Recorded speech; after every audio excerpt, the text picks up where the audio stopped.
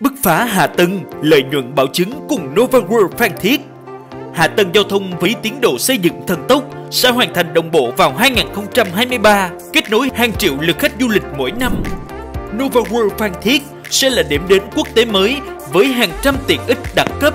Đầu tư ngay thời điểm này với bảo chứng lợi nhuận an toàn, cam kết 7,5% một năm trong 2 năm. Bên cạnh đó, nhận ưu đãi liền tay 100 triệu đồng booking giữ chỗ. Quà tặng đặc biệt từ Nova Special Gift đến 1 tỷ đồng, tận hưởng dịch vụ chuẩn quốc tế. Đặc quyền ưu đãi cho cổ đông Novaland tới 220 triệu đồng. Ưu đãi đặc biệt 5% cho Nova World Collection và nhiều ưu đãi hấp dẫn trong quý 4 2021.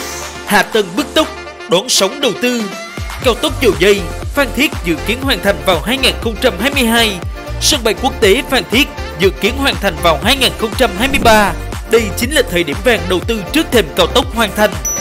Theo phân tích từ Vietnamnet về sóng hạ tầng, sau khi công bố kế hoạch cao tốc Hồ Chí Minh Mộc Bài, giá trước kia chỉ từ 1 đến 2 triệu mét vuông, nay đã tăng tới 10 đến 20 triệu mét vuông.